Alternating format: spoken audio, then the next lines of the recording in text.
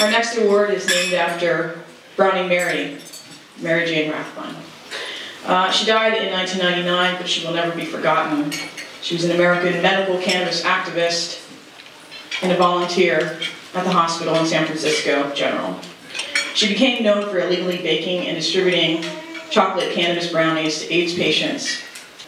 She was arrested on three occasions, with each arrest bringing increased local, national, and international media attention to the medical cannabis movement. Her grandmotherly appearance generated public sympathy for her cause and undermined attempts by the district attorney's office to prosecute her for possession. Her arrest generated interest in the medical community and motivated researchers to propo propose one of the first clinical trials to study the effects of cannabinoids in HIV-infected adults.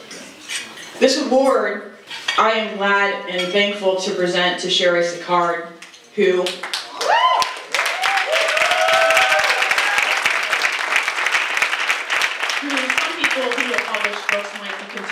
publishing or, as it were, be circus performers and do a lot of amazing things in her life. Um, she has also decided to be very generous and support Joe Grumbine and other patients and providers showing up to court every day as court support, donating her products and her expertise for free to many people and causes and auctions. Not only that, her food is delicious. and easy to follow recipes. I really appreciate that because I need the help.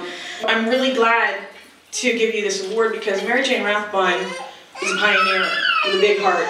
And for you to teach people how to infuse what they put into their own bodies the cannabis recipes are so very important. It's not just for a hobby. It's not just about the culinary arts. It's about people being healthy, people healing, and you have supported so many people medicinally and in court. And I just want to say congratulations and thank you.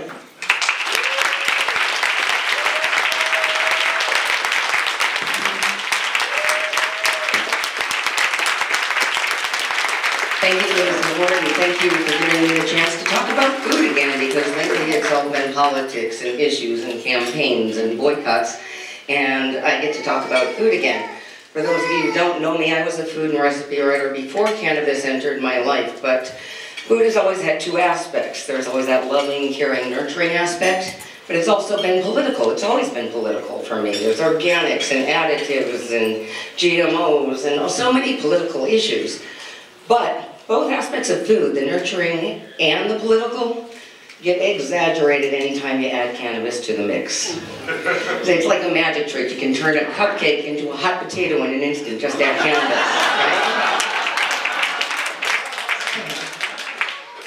But um, it's true. It's, it's still a loving, nurturing thing, but not only are you giving somebody something that's delicious, but you can see a patient and you can see their pain go away, their anxiety, their spasticity. That's priceless.